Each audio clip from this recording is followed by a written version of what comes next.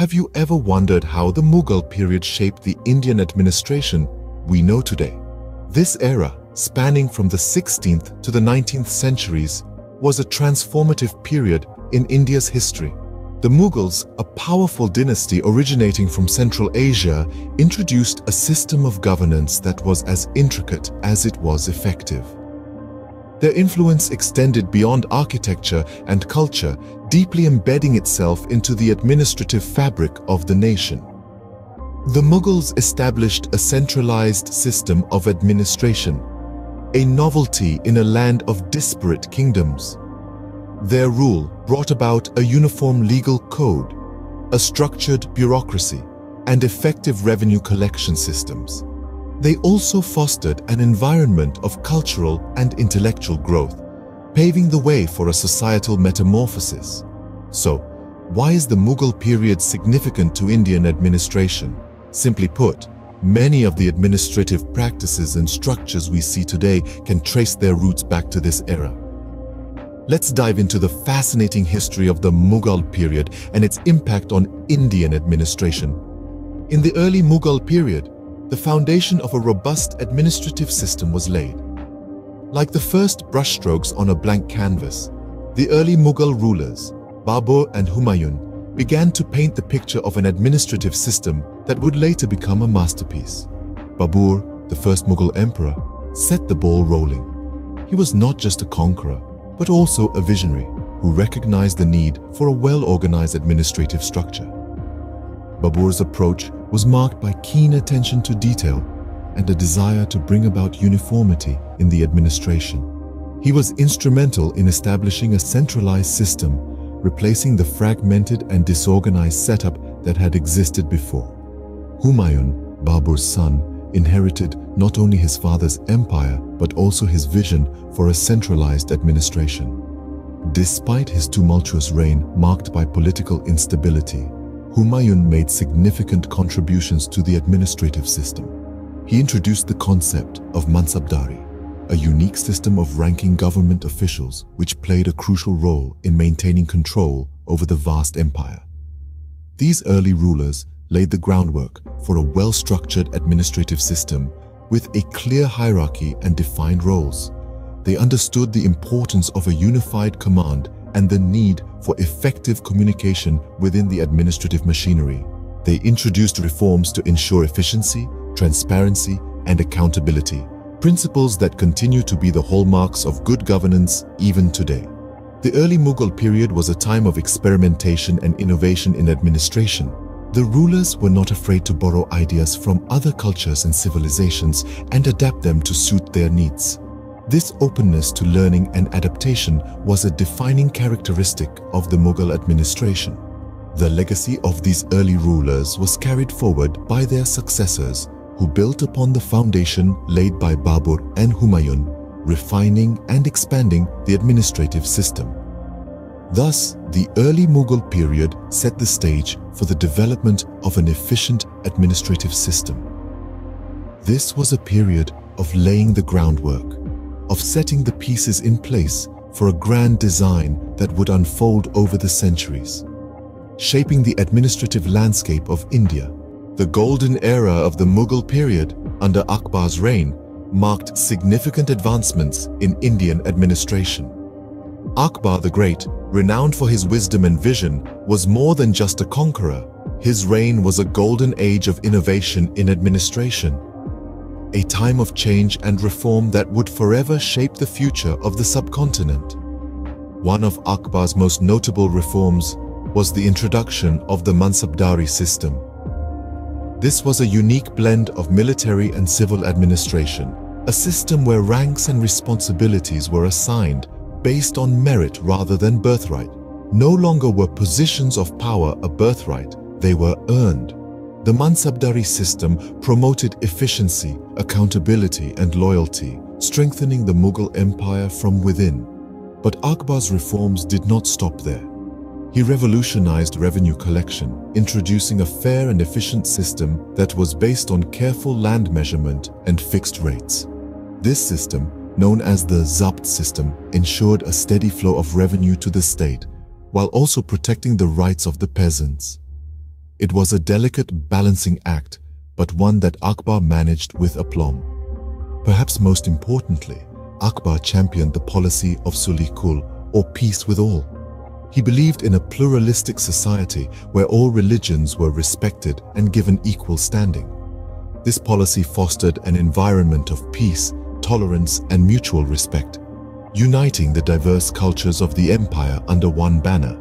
It was a testament to Akbar's vision of a unified, harmonious India. Each of these reforms, in its own way, fortified the administrative system of the Mughal Empire. They brought stability, efficiency and fairness to a realm that spanned diverse cultures, religions and languages. They laid the groundwork for a strong centralized administration that would endure long after Akbar's reign. The golden era of the Mughal period left an indelible mark on Indian administration.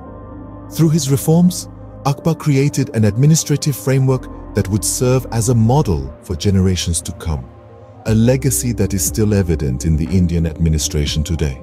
The later Mughal period saw further enhancements in the administrative system. Jahangir, son of Akbar and the fourth Mughal emperor, ascended to the throne in the year 1605. His reign was marked by a well-structured bureaucracy which was divided into several departments, each headed by a minister. This efficient administration structure facilitated smooth governance and effective decision-making. Jahangir also introduced the concept of chain justice or Adl-e-Jahangiri, a bell rope for the common man to seek justice directly from the emperor, a testament to his commitment towards justice and fairness. He also advanced the revenue system, ensuring a more systematic collection of taxes, which positively impacted the empire's economy. Following Jahangir, Shah Jahan took the reins in 1628. He's best remembered for his architectural contributions, like the Taj Mahal. However, his administrative reforms were equally significant. He established new provinces, further organizing the empire's vast territories and improving governance.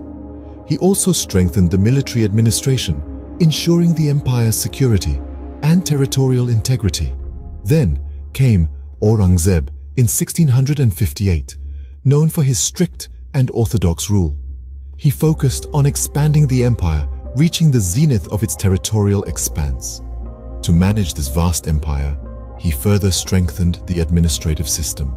His reign saw the introduction of several new offices and posts, refining the bureaucracy and making it more efficient. Aurangzeb also introduced reforms in the land revenue system, like the Zabt system, which streamlined revenue collection and increased the state's income. His reign, though controversial, saw the Mughal Empire reach its peak in terms of territorial extent and administrative efficiency. The later Mughal period was a time of change and development, with each emperor bringing something new to the table. They strengthened the bureaucratic structure, introduced effective revenue systems, and expanded the empire, leaving an indelible mark on Indian administration. The later Mughal period fortified the administrative system, leaving a lasting legacy. The influence of the Mughal period on Indian administration is evident even today. This statement carries a profound truth. The legacy of the Mughal Empire, spanning over three centuries, has left an indelible imprint on the administrative framework of modern India, shaping it in ways more than one. Let's delve into some key aspects. One of the most significant contributions of the Mughals was the concept of centralization. The Mughals established a strong central government with the emperor at the apex, a system that served as a blueprint for the centralized governance structure we see in India today. Next, we turn to bureaucracy. The Mughal administration was characterized by a well-organized bureaucratic system. Officials were appointed based on merit and were held accountable for their actions. This merit-based system of bureaucracy has been carried forward into the modern Indian administrative system, ensuring efficiency and accountability. The revenue system introduced by the Mughals was another breakthrough. They implemented a uniform system of taxation based on a careful survey of crop yields, land measurements, and prices, this system greatly influenced the revenue administration in India, with the principles of fairness and uniformity still being upheld. Lastly, let's talk about justice delivery. The Mughals established a comprehensive judicial system with courts at various levels, ensuring justice was accessible to all. This has significantly influenced the hierarchical structure of the judiciary in modern India.